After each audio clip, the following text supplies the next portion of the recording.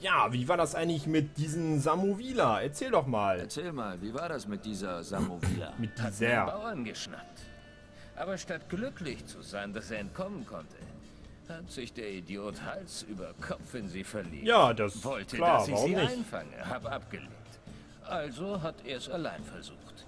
Mit einem Fischernetz. Ich wette, die Okay. zwei tanzen jetzt auf einem fahlen Feld eine Mazurka.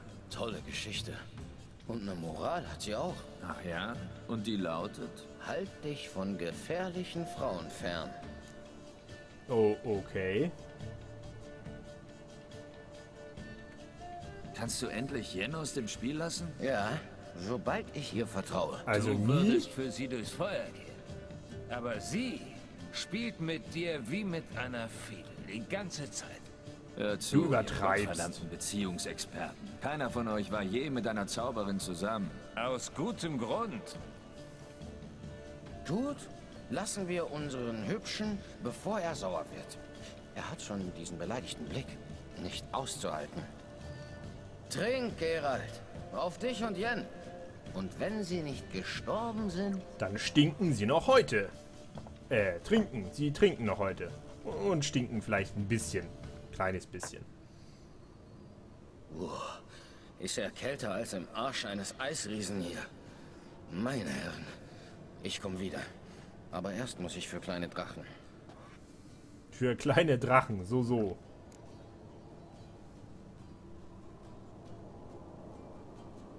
Hm, ja, ich finde es tatsächlich nicht kalt, aber Verstehst du dich gut mit Lambert? Irgendwie habe ich gelernt, nicht über bestimmte Dinge mit ihm zu sprechen. das ist wahrscheinlich eine weise Entscheidung. Liste sein.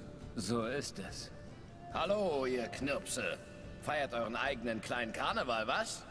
Alkohol, Was ist das denn? meine Besten, ist, Was ist das für ein Hut? Ärgster Feind. Wo hast du denn dieses Hütchen her? Aus Wesemirs Koffer. Der letzte Schrei des Jahres 1112. Sicher hat es der Alte getragen, als er Mädels aufreißen ging. Ja. Oder wie man es damals sagte, den Weibern den Hof machte. Jungs, ein Hexer zu sein, ist mehr als nur Karten und Schnaps. Es ist harte Arbeit. Ich haare auch manchmal auf Nicht meine für Arbeit, uns ja. ist das Zwitschern von Kindern. Nicht Was? für uns. Zwitschern von Ist Kindern? Gut, ein Wesemir reicht uns. Zieh das aus, bevor es kaputt geht. Und schenk ein. Oh, das mache ich, Eskel. Ich schenk ein. Bis zum Rand. Denn ohne Wodka bist du steif wie ein Buchhalter in der Gipskorsage.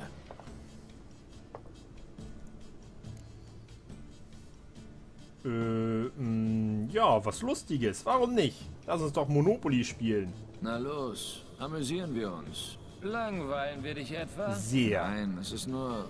Nicht witzig genug. Unser Schönling hat recht. Hör zu, ich kenne da ein Spiel von einem Schüler in Ochsenfurt. Einer fängt an und sagt, ich hab noch nie und beendet den Satz, wie er will. Wer das Erwähnte schon mal gemacht hat, muss einen trinken. Okay. Dann ist der Nächste dran. Klingt gut. Du fängst an. Ich hab noch nie mit einem Succubus geschlafen. Hm, hab, hat Gerald schon mit einem Succubus geschlafen? Also während wir ihn steuern, nicht. Ich weiß nicht, ob er vielleicht davor schon mal, der ist ja, ich weiß nicht, ich setz mal aus. Also ich weiß nicht, ich glaube nicht, dass er das schon mal gemacht hat. Oh, aber der Herr Eskel, ja, Na, sieh mal einer an. Eskel, Eskel. Stille Wasser sind tief. stille Wasser Ich stehe total auf Frauen mit Hörnern. Gut, kann ich nachvollziehen. Gut, jetzt ich. Ich habe noch nie nach einem Besäufnis nur noch meine Unterhose angehabt. Ja, da ziehe ich mir einen rein. Saufen und dann in der Unterhose aufwachen, das ist ja nun nichts Besonderes für so einen echten Hexer. Ja, und Lambert natürlich auch. Gerald, Lambert ist ein hoffnungsloser Fall, aber du, was würde Papa Wesimir sagen? Papa Wesemir würde diese Runde auch mitkriegen. Also gut, Gerald, du bist dran. Ich habe noch nie... Äh, ich habe noch nie äh, mh, äh, Fistech genommen. Nö, hier, Sprung aus dem Fenster einer Geliebten. Einen Sprung aus dem Fenster einer Geliebten machen müssen. Na? Echt nicht? Muss ja ein harter Hund sein, dessen Frau du durchgevögelt hast. Irrtum. Es war ein Freund. Ich wollte ihn nicht kränken. Ach du alter Ja? Softie. Ein schöner Ja, Freund bist total. Gut, Leute, lassen wir das. Sonst kann ich euch nie wieder in die Augen sehen. Puh. Der Wodka. Der Wodka ist alle. Wer holt noch ein? Ich war schon.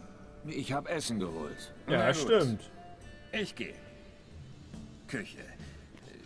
Da lang, oder? Hoffentlich fällt er nicht hin. Der ist auch schon ziemlich voll. Äh, mh, ah, Lambert, du alte Sau. Komm hier, lass dich Lambert, drücken. Kumpel, ich muss was loswerden. Ja? Manchmal bist du ein echter Idiot. Aber ich liebe dich, Bruder. Und du bist manchmal ein echter Angeber. Aber scheiße. Ich würde mit dir durch die Hölle gehen. Komm her, du Knallkopf. Oh ja. Oh, die Scheiße. Flasche. Kaputt. Ja, ist gut sie gesöfft. leer. Äh, wo ist Eske? Müsste längst wieder da sein. Wir müssen ihn suchen. Und den Schnaps. Vergiss nicht, den Schnaps zu suchen. Wo hast du den Hut schon wieder her? Zieh die Mütze aus. Wo ist dieser Jungspund nur hin? Vielleicht ist er in Bedrängnis. Ich wette es. Los, Männer, auf zur Rettung. Äh, ja, okay. Dann äh, mal zur Rettung. Oh, wir sind ein bisschen... Finde erst mit wieder ein Hexersinne. Äh, ein bisschen schwankt alles. Woran mag das nur liegen? Klopf, klopf. Da sind Spuren. Hat etwas Wein vergossen und ist mitten durch die Pfütze gekrochen. Gekrochen vor allem. hinknien, um das zu sehen? Hätte ich mich vorgebeugt, dann hätte ich mich übergeben. Okay, okay. Oh, uh. Wir folgen mal der Spur. Haben wir da noch was in dem Fass drin? Eske! Oh, da ist so eine Flasche Schnaps, die nehmen wir mit. Eske! Ah, wo ist der Junge denn hin, sag mal? Der, uh, der ist auch so ein bisschen hin und her gewankt. Ah, sag mal, hat er sich hier verlaufen? Eske, du Auf dem Weg zur Küche? Komm da raus! Uah. Eske, Eske, bist du nach draußen? Da ist die Küche aber gar nicht. Eske! Eske! Jetzt wundert mich gar nichts mehr, warum er verschwunden ist. Ja, hier irrt er draußen irgendwo in der Wildnis rum. Soweit kommt's noch. Mit unserem Schnaps wahrscheinlich. Hey! Ah, hast du das gehört? Das klang wie das Japsen eines verwundeten Wöverns. Bei Wüvern? Verdammt! Wir haben den Kampf verpasst. Huch. Ich glaube, er, er hat sich wehgetan. Was? Nein. Ah, was macht eine Narbe mehr schon aus? Ist voll... Aha, Eskel ist in der Nähe. Halt durch, Bruder. Da, ach, er schnarcht da. Ach, mit seiner Ziege. Eskel? Mit dem kleinen Meckerfritzen hat er sich hingelegt. kommen. Eske! Eskel, altes Haus. Ist dir nicht kalt? Hey, schau mal, da ist er. Mit seinem getreuen Meckerfritzen. Hallo? Eske? Eske! Wach auf! Wie? Was ist Er passiert? hat voll weggetreten, ey. Ist abgefüllt. Sternhagel voll. Und noch einiges mehr. Das ist passiert. Steh auf. Du kannst einen Schluck vertragen. Ja, absolut. Lass mich. Muss kotzen. Immer dasselbe, wenn wir drei zusammen sind. Lass uns jemand Viertes finden. Besser. Eine Frau. Keine Äh, Jennifer Jen. sollten wir nicht Die wecken. wollen wir lieber nicht aufwecken, glaub mir. Was ist mit dieser Zauberin, mit der ihr gesprochen habt? Wir machen das Megaskop an, laden sie freundlich ein, sie teleportiert sich her, bringt vielleicht ein paar Freundinnen mit. Wie klingt das? Das klingt wie eine enorm schlechte Idee. Aber Lambert, du bist ein Genie. absolut, Aber ja. klar. Und? Laden wir die Loge zu unserer Fete ein? Na, aber hallo. Ja. Ruf die Schlampe. Hey, da sind keine Schlampen, das sind Zauberinnen. So, äh, wie benutzt man Also das? gut. Wie geht das? Ich, boah, keine Ahnung. Also, Weiß jemand die du Nummer? drehst ein wenig hier, ein ich da und dann sagst du was auf Elfisch. Okay, ist Ja, ja leicht. easy. Fangen wir an. Warte. Wenn diese Ida uns sieht, erschreckt sie sich. Ich meine, wir sehen nicht wie Zauberinnen aus. Ja, aber was willst du dagegen machen? Mit unseren Ich weiß. Visagen. Jennifers Kleider. Was? Ihre Taschen sind da drüben. Was ist mit Ähm, dir los? Stehst du drauf, dich zu verkleiden? Klappe, Klugscheißer. Sonst schnüre ich dein Korsett so zu, dass du dir in die Hosen scheißt. äh, mh, äh, ich glaube, das mit den Kleidern, ich weiß, weißt du was? Komm, die sind eh sternhagelvoll. Hör auf zu jammern, Eskel. Wir nehmen diesen Fliffer. Fliff, Fitter. Fliffer.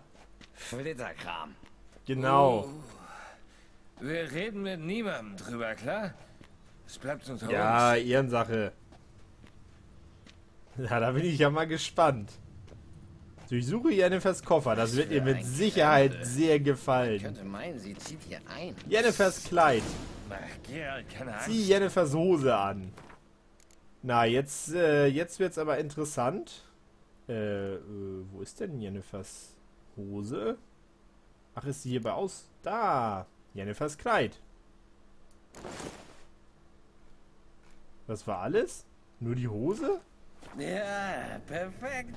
Ja, wo ist der Fast Rest? wie angegossen. Sicher. Ja, finde ich auch. Muss nur in der Taille etwas ausgelassen werden.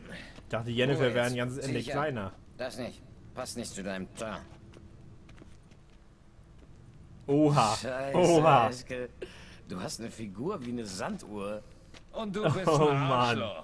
Los, komm schon, ist unbequem. Ihr habt euch echt in die Kleider gequetscht? Also, Alter. überlasst mir das Reden. Ihr zwei kümmert euch um die Kristalle. Oh Mann. Ketmil, Bluede, Deune, Hokus Plata. Ich glaube nicht, dass das die richtigen Worte sind. Was ist das denn? Was ist da? Wer Was? ist das? Oh, Entschuldigung. Wir waren niemals da. Mehr Papier, Exzellenz? Nein, du Idiot! Die Loge! Die Loge will mich holen!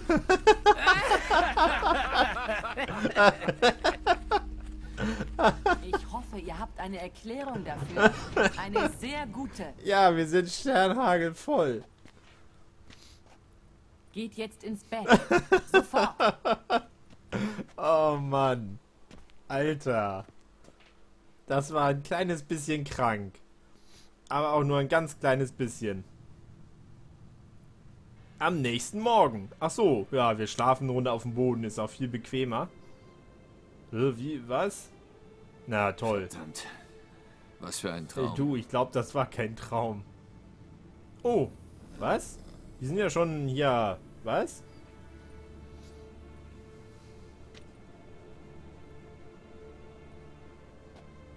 Komm hoch mit dir.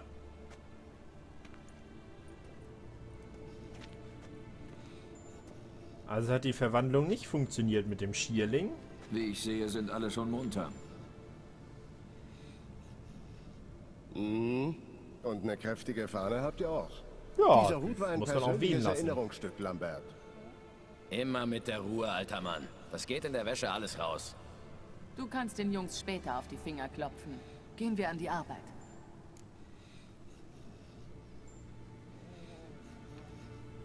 Wesemir.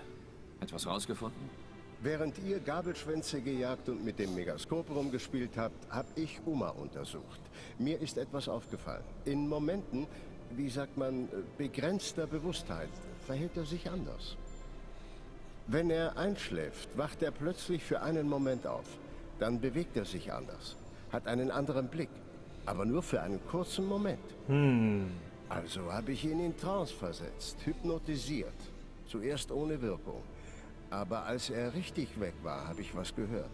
Ein Seufzen oder Stöhnen. Jedenfalls nicht Umas Stimme.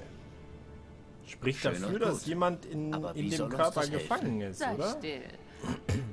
Danke, Wesemir. Und es tut mir leid, was ich gesagt habe. Haben die Jungs dir erzählt, was wir vorhaben? Ja, und es gefällt mir nicht. Aber ich muss dir wohl vertrauen. Na, es scheint, als hätten wir keine andere Wahl. Ich dachte, wir wären diese Folterbank längst los. Ist sicher ein halbes Jahrhundert her, dass ich den traurigen Albert gesehen habe.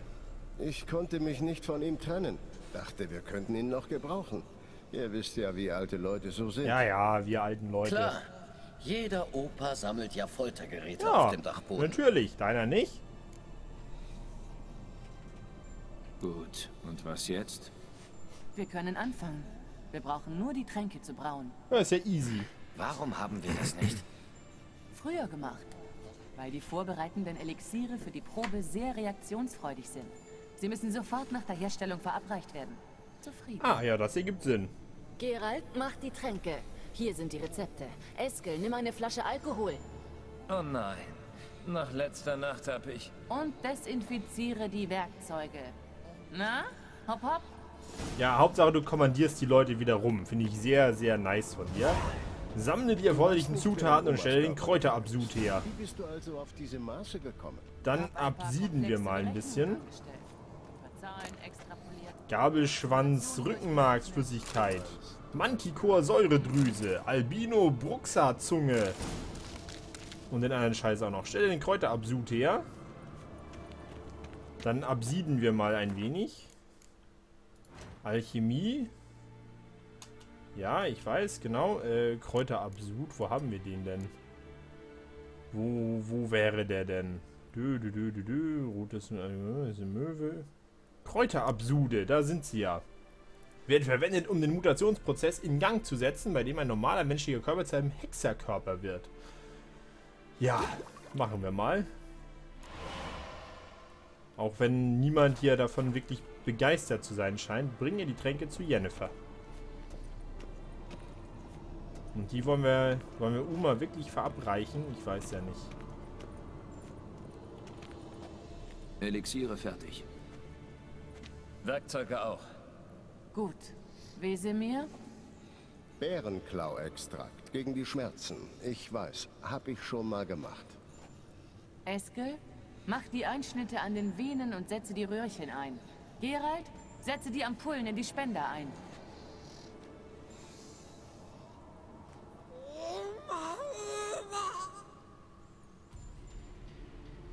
Fertig.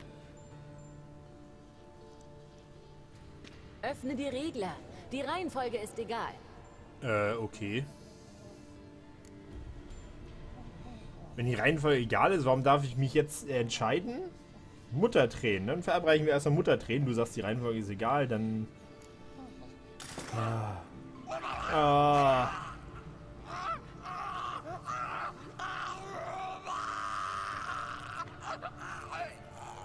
Ah, das mag ich gar nicht mit ansehen. Wenn nicht, hätte er einen Schock bekommen, der ihn getötet hätte. Dann läuft alles nach Plan. Ja, total. Aber es liegt alles im Rahmen. Jetzt das nächste Elixier. Na gut.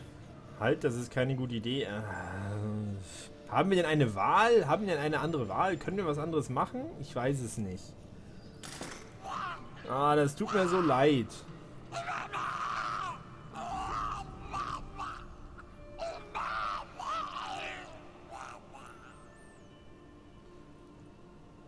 Ich hatte gehofft, ich hatte gehofft, sowas nie wieder mit ansehen zu müssen. Das hatten Warum wir hast du wahrscheinlich dann die alle. Folterbank behalten?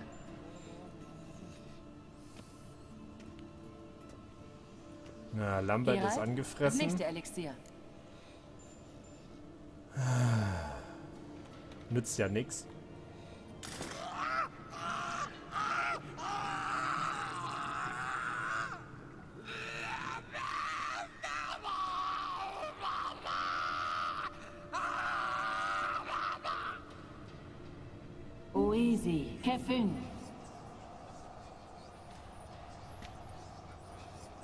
Und jetzt?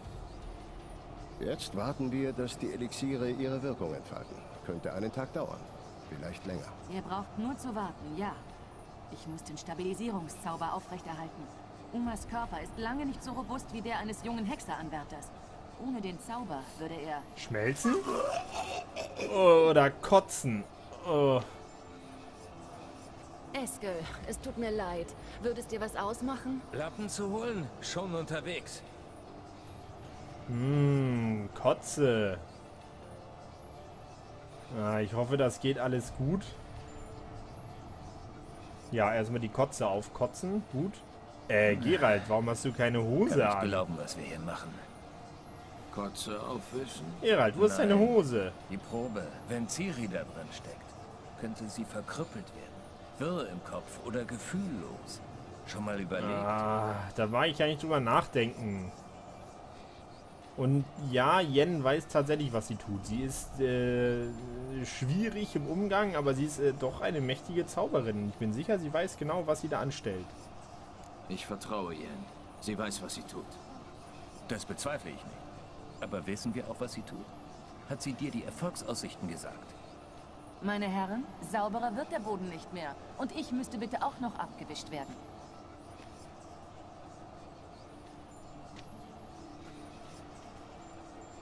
Nichts gegen dich, aber mir wäre lieber, dass es Gerald macht. Verstanden. Wäre mir auch lieber. Ja, gut, ich wisch ja schon. Wische die Wisch, wisch, wisch.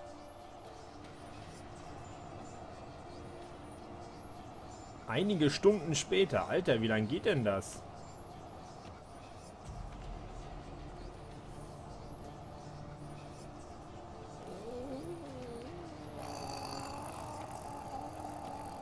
Ist das normal?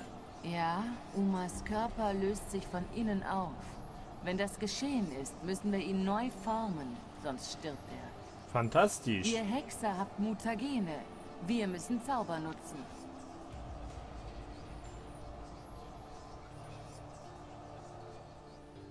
Hey, Yen, du döst ein.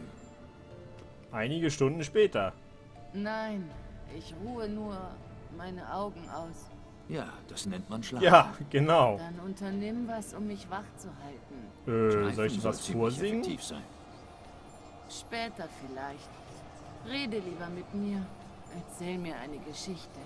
Hm, okay.